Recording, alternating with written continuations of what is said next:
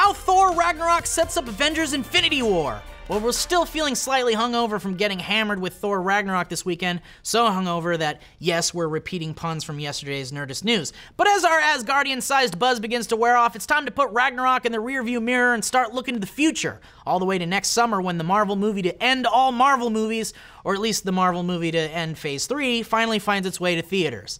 But in the meantime, spoilers, spoilers, spoilers! S- spoilers. You got that? Avengers Infinity War hits the big screen May 4th, 2018, and it's poised to put a big bow on 10 years of cinematic storytelling that began all the way back in 2008 with the first Iron Man movie. Now, there's one more MCU film on the horizon before we get to Infinity War, next February's Black Panther. But since that's the first solo outing of a still relatively unknown hero, we're guessing Marvel isn't going to bog it down with loads of franchise building so audiences can better get to know the character on his own terms. So that means Ragnarok is probably the last bit of table setting before the big event. So we thought now would be the perfect time for an Infinity War refresher course. Let's begin with those six magical, marvelous MacGuffins, the objects everyone will be going to Infinity War over, the Infinity Stones. Now, they've been floating around the MCU forever, and it can be tough to keep track of all of them, so let's review. The Reality Stone is still in the Collector's collection. The Power Stone is in the custody of the Nova Corps. Vision is using the Mind Stone to literally power his mind, and you can only check out the Time Stone if you have a library card for Kamar Taj's library. The Space Stone is in the possession of Loki, but probably not for long. And the Soul Stone is, well, we're not really sure where the Soul Stone is. We may have had a few small assumptions about it in the past, like that we were definitely 100% certain that it would show up in Ragnarok. So there you have it. One final Infinity Stone to be found before the MCU goes to Infinity War, and we're pretty sure we know exactly where it is and where it's going. And honestly, when have we ever been wrong before? Ragnarok came and went without a Soul Stone to be seen. Now, to be fair, we made those guesses when we thought Infinity War would start off with the stones all in one place, so we could just actually jump into the Infinity War when the movie started.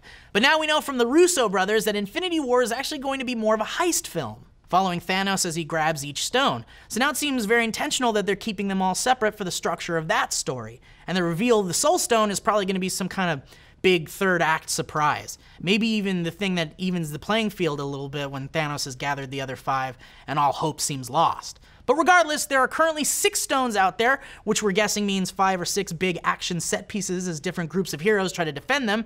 Now, as we already pointed out, Loki pretty clearly grabbed the Tesseract on his way out of Asgard, and since we see Thanos' ship intercept him and Thor in the Ragnarok post-credit scene, it seems likely one of the first big scenes will be Thanos snagging it from him. The only question is if he'll have to fight Loki for the stone, or if Loki could just turn it over willingly. Either way, that D23 trailer where Thor ends up unconscious on the windshield of the Milano means whatever happens, it doesn't end well for the God of Thunder.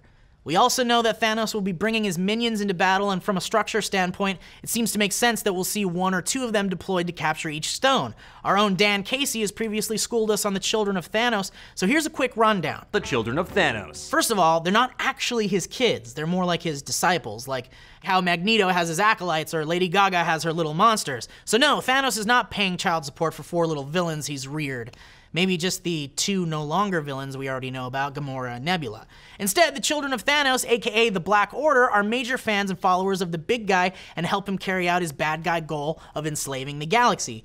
And we know, or at least can make a pretty darn good guess from the statues unveiled at D23 a few months back, that four of the five members of the Black Order will be making their way from comic book pages to the big screen in Infinity War namely Corvus Glaive, Proxima Midnight, Ebony Maw, and Black Dwarf. So there we have four bosses who could be sent out by Thanos to obtain the Infinity Stones before the final showdown with Big Boss Thanos, when all 72 characters of this film will be on the screen at the same time.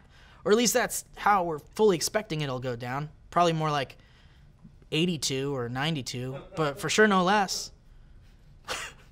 But what do you guys think? Do you think the Black Panther movie is hiding an Infinity Stone? Was there enough Marvel mythology in Ragnarok? And where could that pesky Soul Stone be hiding? Let's discuss. Now, if you haven't noticed by now, I am not Jessica Chobot, I am Steve Zaragoza. Jess is currently abroad attempting to find the fourth of her seven Horcruxes, but until she gets back, you can check out the latest episode of Musk Watch. Dan and Kyle have a brand new episode of where Elon Musk might cross over with Rick and Morty. Be sure to like and subscribe and keep checking Nerdist.com.